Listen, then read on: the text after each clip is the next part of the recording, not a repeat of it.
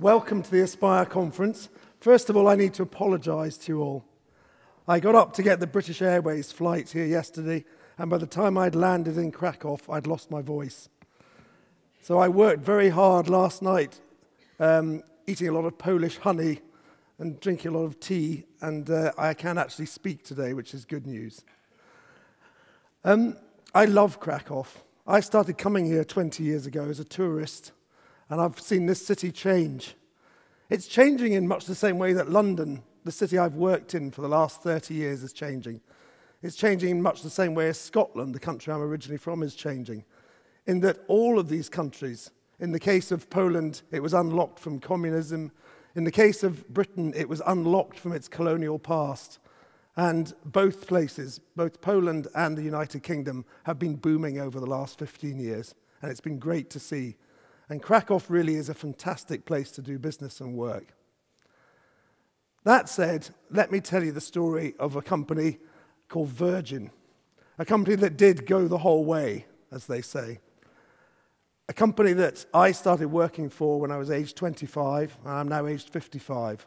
I worked there for 25 years before embarking on my own career. And I witnessed really something quite remarkable happen an organization that didn't know the limits that was prepared to do things other organizations weren't prepared to do. And I worked for a company which the boss of, a man called uh, Sir Richard Branson, started the company when he was 15 years old. And what I'm going to tell you today is the story of that company and how did the man that brought the world punk rock end up building the world's first commercial spaceship. I think one of the things that's interesting to me is as I, when I was a kid growing up in Britain, I really loved Virgin. As a teenager, I loved the kind of music that they were signing uh, bands like Boy George, uh, the Sex Pistols. And I, when I was at university, actually wanted to know how Virgin worked. And when I did economics and history at university, I used to spend a lot of time reading up on what was happening to this young company I was witnessing. So I learned quite a lot about the business before I eventually end up, ended up working there. One of the interesting things that I noticed was that the company clearly had no fear of failure. Now, one of the reasons for that is that it was started by a young man aged 15, and he started it when he was still at school, at a time in Britain when people did not start businesses. Britain was not very entrepreneurial in the, early, in the late 1960s and early 1970s. Business was not the thing. It was very entrepreneurial of you in the music business, but not many others. And lo and behold, this young man started his business in the music arena. Having started a student magazine at the age of uh, 15, he went on to found a record company at the age of 18. Now, there was very little written about Virgin in those days, so I did some research when I eventually joined the company in 1985. And Richard Branson had done an interview at the age of 18 to explain to Vogue magazine, a very well known global magazine, who were doing a series of articles on young people and what they were doing in Britain and he was chosen as one of the people. And he wrote, he wrote in this article about why he was calling this new company Virgin. Now, at the age of 18, this young lad said, We decided to call the company Virgin Records and not Slipped Disc Records because I said to my cousin Simon, You couldn't put the name Slipped Disc on the back of an aeroplane, and one day I'd like to go into the airline business. In fact, one day I'd like to do lots of different things for young people. And Virgin's a sexy name, and we're all virgins in business with no experience. And we think it's a name we can apply to lots of different things we're going to do for young people in the future. Now, that's very visionary. And he was actually a young man who, although he didn't know at the time, had attention deficit hyperactive disorder. We treat that these days. But in those days, they didn't even really know what it was. He was called dyslexic. And interestingly enough, when he left school at the age of 15, his headmaster at school said, Richard, within three years, you're either going to go to prison or become a millionaire. Anyway, within three years, he had gone to prison and become a millionaire. So that's the measure of how this company, Virgin, started. It started with a young man with no fear of failure. He just wanted to go out and do things. And they were very lucky. And luck is a big thing in business, as you all know. You always need a little bit of luck, but you have to plan around your luck when you get it. The luck they got was that they signed a young man called Mike Oldfield, who wrote an album of um, basically orchestral rock music called Tubular Bells. Now, Tubular Bells went on to become the biggest selling album of the 1970s, and it went on to become uh, the theme music for a new genre of horror movie, the first of which was called The Exorcist. And it was the theme music in that film. And it made them a lot of money, and they decided to do lots of different things in business. Now, this was the original logo of Virgin that you see behind you. And in 1977, Sir Richard Branson, or Richard Branson he was then, went into a club in London and he signed the world's first punk band called the Sex Pistols, you might remember the name of. And that was the beginning of a new era of music that began in Britain and ended up in bands like Boy George and Culture Club and Simple Minds and a whole lot of other music of that era. But they were the first of these type of bands. Now, Richard Branson's cousin, who was actually the golden ears of Virgin Records as it had become already, Simon Draper, thought the band were terrible. Richard Branson thought the band were wonderful because he was tone deaf and he couldn't actually hear what they were singing. And he went on and signed them, and they became very successful. But they refused to use this logo because it was too hippie. So, to mark out the kind of person Richard was and the kind of entrepreneurial spirit that Virgin has, he went to look for a new logo, the logo that became famous around the world on all sorts of different businesses eventually. And it's interesting, that logo took 10 minutes to design. In 1977, just having signed the Sex Pistols, he just, he, Johnny Rotten, who was the lead singer of the Sex Pistols, said, We need a new logo to go on our new record. We're not going to use that hippie logo. So Richard Branson asked a designer to come to his office, which was on a houseboat in London on a canal. And the designer sat down with his iPad of that time, which was a felt tip pen and paper, and he sat down, and Richard Branson described how he wanted to use the name Virgin to do all sorts of different things for young people. He would be in all sorts of different businesses one day. At the moment, he was just in the music business, but one day he might even have an airline, and he wanted a, a, a logo that could go on the telephone. As he was speaking, the designer sc- scrawled the name Virgin, as you see it there, on the bit of paper. Richard reached over the desk and said, That's the logo, that's great, thank you very much. And that was how one of the world's most famous brands came to be. Anyway, the Virgin I joined was beginning to grow. It hadn't grown to quite this extent, but the idea of it had. Richard had this idea that he would start lots of businesses and manage them all separately with different partners. Some of them one day he might quote on a stock market, some would be with a trade partner, such as another airline or a railway company or a media company, and some would be with just debt investment and bankers. But he would basically set up a kind of what we called, when I started to work at Virgin, the branded venture capital model. By the time I joined Virgin, the only other business that had really got going was the airline. Now, I really wanted to work for this company. But as happens in life sometimes, and chance that happens in life, I was actually approached to go and work there by coincidence. And the reason I wanted to work there was because not only did I admire the idea of the entrepreneurialism of the company, but I admired the sheer bravado of the individual who was running it. I remember I was a graduate trainee in 1984 when Richard Branson started his airline, and I was working in a, a branch of the travel agency of Thomas Cook, and I was selling airline tickets. And on the week that Virgin Atlantic launched the marketing magazine of Britain called Marketing Week, came around our office and I was reading through it, and there was a big article saying why Virgin Atlantic will fail. And it was by the editor of Marketing Week. And Marketing Week had done some market research. And they had decided Virgin Atlantic would fail because only 9% of adults in Britain would be prepared to fly on an airline run by a record company called Virgin. And that seemed a very damning conclusion and very logical. But uh, having studied economics and knowing a little bit about research, I thought to myself, well, that's not very good research because nobody knows about Virgin being in the airline business yet. So surely you can't draw any conclusions at this stage. And it's more about what it does than the name. Anyway, the very next week, this dyslexic entrepreneur with his attention deficit disorder writes an article for the same magazine. And this is one of the main reasons I really wanted to work for Virgin. And he says, Congratulations, Marketing Week. I've done no research on the Virgin name in the airline business. I've only researched what customers want. All I care about is what they want, and they're not getting what they want at the moment. And by the way, I've only got one aeroplane, So 9% of the British public is 27,000 years worth of customers. I thought, when I read that, not only did I burst out laughing, but I thought, I have to work for this person. And luckily enough, two years later, I got approached to work there, and I joined the airline in the very early days. Now, one of the things about Richard Branson is that he's thirsty for knowledge as an individual. He's always wanting to know. I think it's because he had quite a difficult education when he was young because he was dyslexic.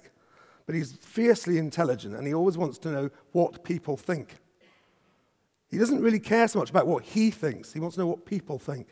And that is the mark of not only a great entrepreneur, but a business that's going to go places. If you're going to go places in business, you have to know what people think. You don't just tell them what you think. And I was lucky enough when I started working there to go to a meeting with a man called Sir Freddie Laker, who very few of you will have heard of.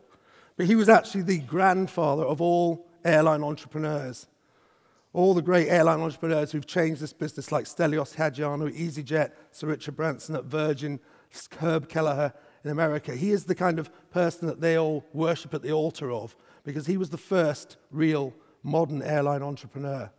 And he founded a company called Laker Skytrain that was flying across the Atlantic and was put out of business by a cartel of British Airways, Air France, Pan Am, and a couple of other big airlines at the time in the early 1980s. And Sir Richard Branson got Freddie Laker into our offices, and he forensically examined all the reasons why Freddie had gone bust. And Freddie said, I made a big mistake, Richard. If you're up against cartels and monopolies, and often when you're starting out in business you are, you have to learn to do a number of things. One, you have to learn to do the things you're good at and outsource the things that you're not good at. Well, there's a lesson that's been learned since. Secondly, he said, you've got to combine quality in your business and value for money. If Virgin wants to make it as a brand around the world, it's got to combine quality, value for money, have a sense of ideals, be uber competitive, being seen as the public as acting in their interests, and you've got to become famous as well because you've got to be at the head of this business as it takes on the government monopoly in aviation around the world. He said, if you do all those things, you won't go bust, you'll survive. And he said, and by the way, when BA come after you, which they inevitably will, shout long, shout hard, and then sue the bastards. So all of that advice was taken on board, including the very last bit of advice. I'll tell you about that a bit later. But anyway, that was the, really one of the first lessons I learned in business. The simplest lesson of all that quality and value for money go hand to hand in the eyes of people, and they should go hand to hand in the eyes of a business. You've got to give the best value with the best quality combined. If you can bring the two together in that magic circle, then you have got a very successful business on your hands. Now, over the next few years, Virgin went on to do lots of things. And we learned not to fail, basically because of the fact that we were prepared to take the risk to fail, and we learned how to manage risk. It's such an important thing to do. We ended up doing so many exciting things. We built the airline business around the world with an airline in Australia, an airline in the United States, and Virgin Atlantic, a long haul airline in the UK. We also went into other businesses the media business, the banking business, a number of other things. And one business we went into, which I want to talk about today, was the train business.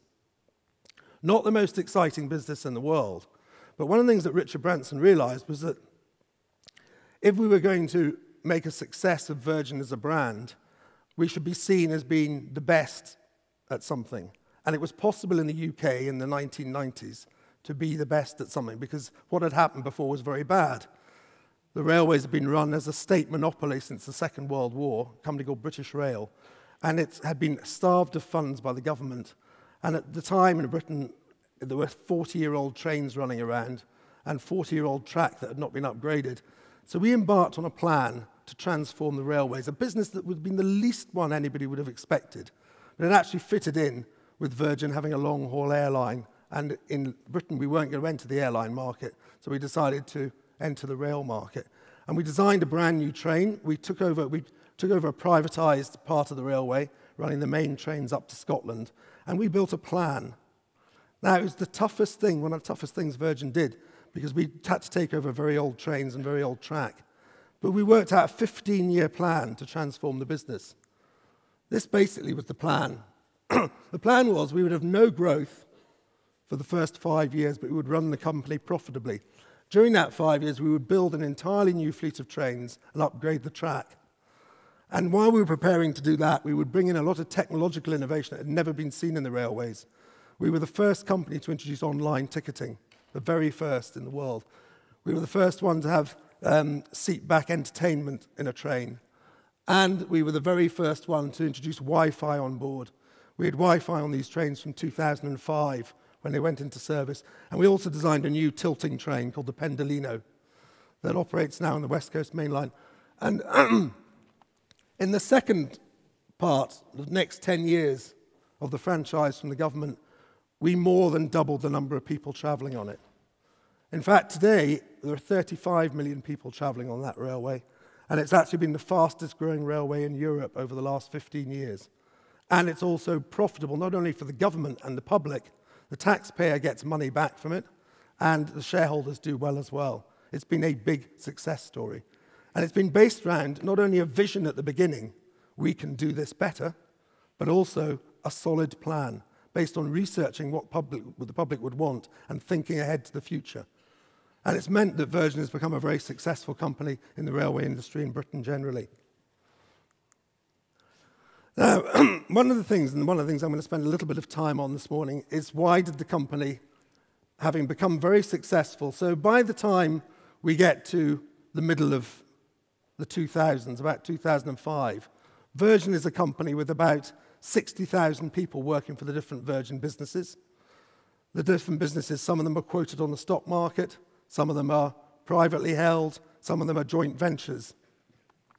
But from a company I joined, which had 240 employees, it had grown to about 60,000. And Sir Richard Branson had become a multi billionaire, but still worked in the business as he does to this day, and is passionate about the business as he is to this day. But in this period of time, we decided to look at the space industry. Partly because we'd learned a lot about the aviation industry and we'd learned a lot about the new technologies in it. And we realized that the government monopoly of space was one that was holding back the development of space industrially. There's so many things we could be doing in space we don't do now because it's too expensive to get the equipment there. But the equipment is capable of working up in space, producing solar power, or having server farms in space is perfectly feasible. But the only problem that holds them back is the cost of the ancient rocketry that we use. Every time the shuttle flew in its last few years, it was costing up to $2 billion a launch for each time the shuttle launched, let alone the costs of developing it. And we were lucky in that one day we saw a project called Spaceship One, which was being built by Paul Allen to uh, win the X Prize, which is a private prize in America of $10 million to be the first ever private spaceship to fly. We saw this project because we were working on another project at the same factory. If I go back a slide or two, we were working on building a plane made out of carbon composite that could fly around the world on one tank of fuel. And uh, when we were in the factory, we saw this little test spaceship being built. And I realized the economics of it. The man who was building it for us told us that the patron of it, Paul Allen, was spending about $30 million building it, and it would take two people to space. So I went outside and I phoned my boss, Sir Richard Branson. I said, Swear word, swear word, I can't use at the Aspire conference, Richard. He's building a swear word spaceship. I swear word you not. Swear word the global flyer plane. We need to get one of these. And he basically, on the spot, said, who owns the rights to it? And I said, uh, Paul Allen, the ex Microsoft boss. And he said, Go and see Paul. I'll phone him. Go and see him in Seattle and offer him $2 million up front to buy the rights commercially because he won't want to develop it commercially, I'm sure. That's sure enough what I did. I sat outside his office in Seattle at a place called the Vulcan Fund for two weeks.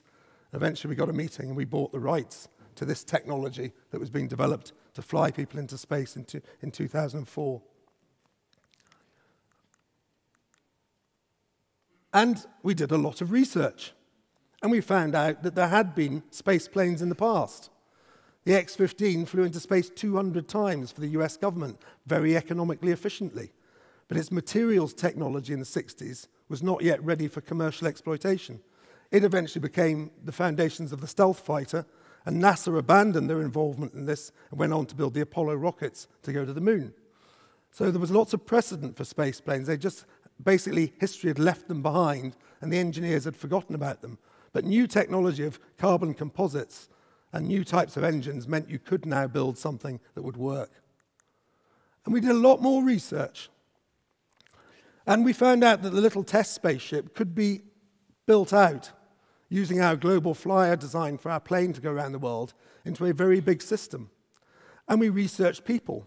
And we found out that there were 150,000 people around the world who'd like to fly to space for $200,000 and could afford to do it. A company called Futron had done the research. And we also found out that there were plenty of people who wanted to launch satellites, but they were too expensive to launch. But the satellites were coming down in price dramatically. So we realized if we built a big enough system, we could become a satellite launch company, a space tourism company, and a space science company, and we could build a business plan that could become profitable.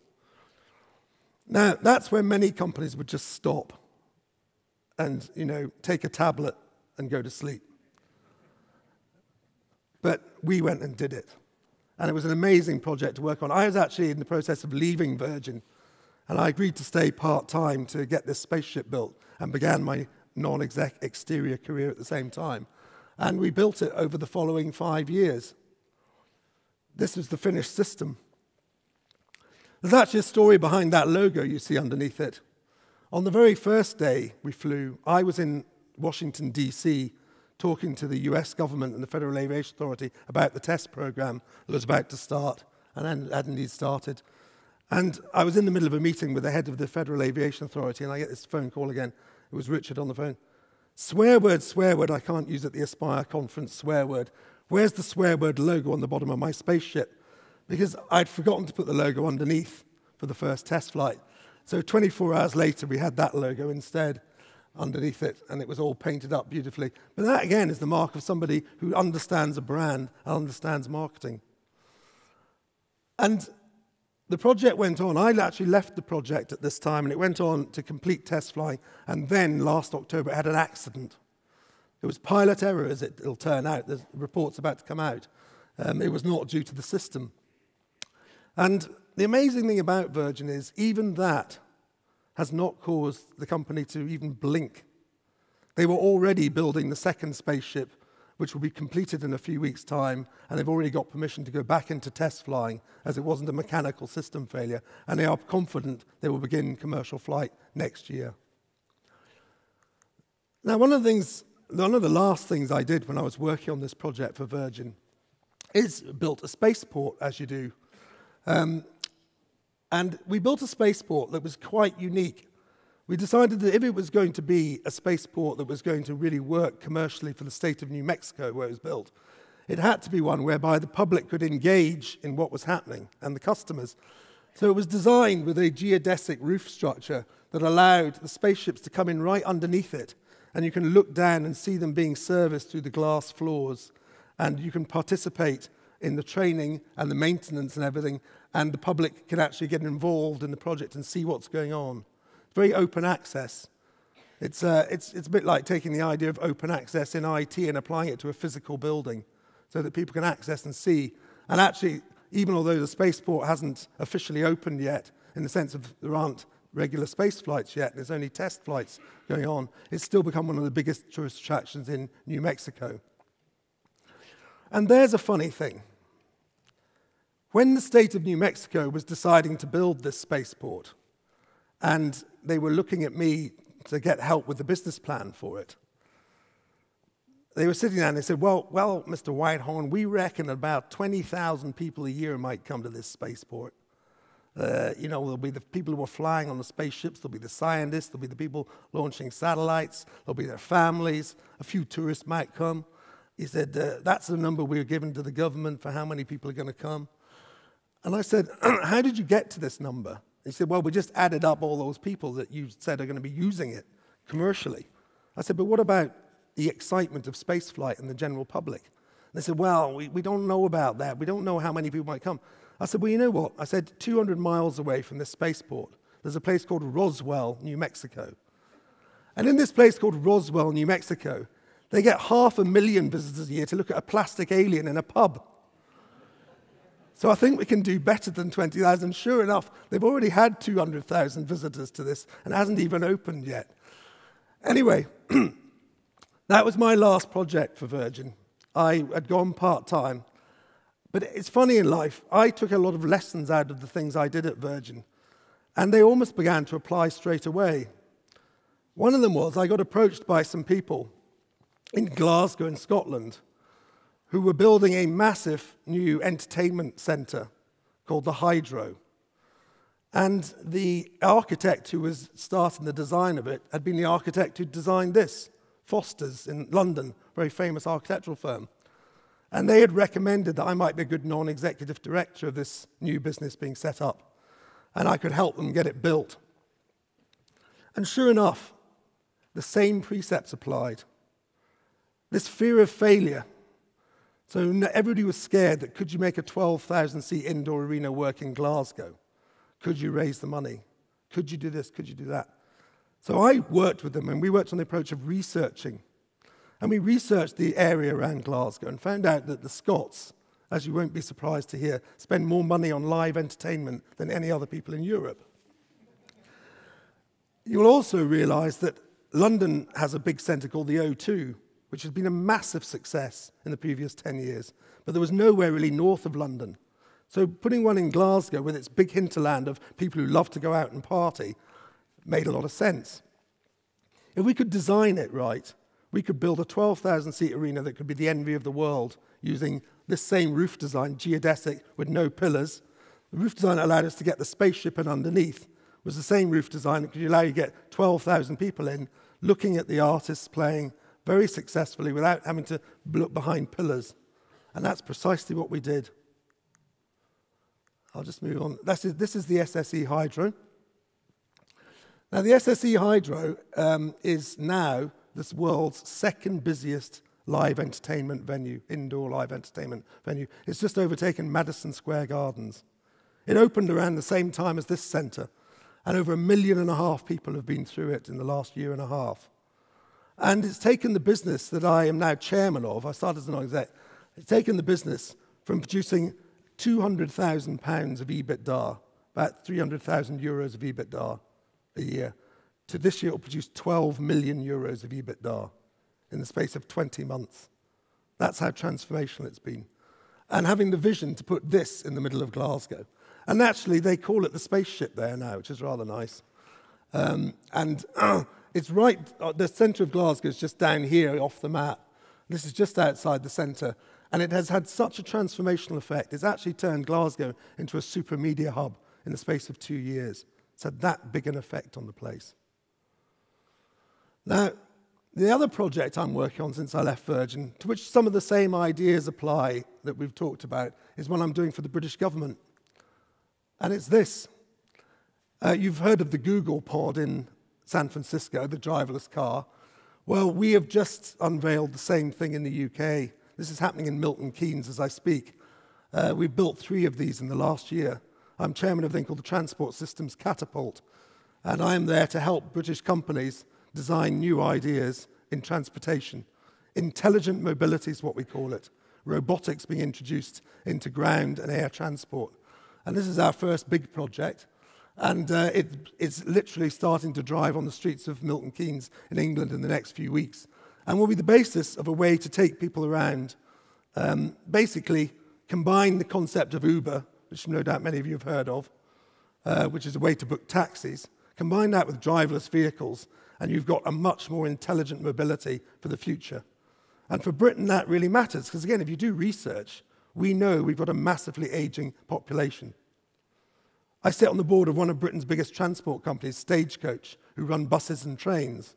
And we can see in the demographics of what's happening now in our country, the number of old people driving is growing rapidly, and the accident rate is starting to go up as a result of it. So, the more we can introduce easy technologies that allow people to continue to be mobile in our aging population, the better it's going to be for our society. So, this is a great project. This is one that has a business plan but it's based upon around the state intervening to get the thing kicked off. So our catapult, as we call it in Britain for transport, is an innovation centre which uses some government money to help kickstart private sector projects. So just going back, that's what I've done since I left Virgin. And uh, I left Virgin in 2010. Now, one of the lessons I took out, which I think is very applicable to the kind of work that you all do, I took out of the space project. When we finished the spaceship on time and to budget, one of the reasons we succeeded in doing that was that we were a very tight team. There were 46 of us who built the spaceship. And the 46 of us managed about 800 outsourced contractors to get it done. And because we were a very tight team, and I took responsibility for dealing with the shareholder and the money people directly, and didn't have to worry them about that, and we could communicate very easily, everything came together very well. Now, we followed a set of rules. Now, normally when you're looking at anything new, it's always the latest idea, the latest idea from the latest entrepreneur in Silicon Valley. But when I looked at how to get this thing built using its new technology materials, I went way back in time. And I found out that in 1946, Lockheed Martin set up a company, some of you might have heard of it, called Skunk Works. Very famous name in terms of innovation and development of businesses and in technology development. And Skunk Works was set up by an engineer called Kelly. And he set 14 rules for how to do a difficult technology project. They were called Kelly's rules. And Kelly wrote them in 1946 and applied them to what he did. And actually, you can still to this day Google them. I, when I found them originally, hadn't Googled them because I didn't know what they were called. I was just researching the history of doing difficult aviation projects and found Skunk Works. But they're well worth looking at because not all of them would ever apply to any project management you do, but some of them do. And the most important one is how you manage a team and keeping it small and keeping it tight when you're trying to do a difficult project. And actually, all the big IT projects that have failed, in the United Kingdom, for example, we've had a huge failure of an NHS project. And it turned out that managing this new IT project for the National Health Service in Britain involved 27,000 people being involved in the decision making process. Out of a total number of NHS or National Health Service employees of 200,000, one in 10 of them got involved in the project, and it failed. So, whenever you do a project, and you'll be doing lots of them with the kind of growth of the business you've got here in Krakow, remember to keep it tight and keep it based upon research. But do have dream and vision. And don't always shoot the messengers. If you think something's failing in it, act. But that doesn't mean to say you stop what you're doing. Learn to manage risk, and anything can be done, and the world is your oyster. Thank you for your time.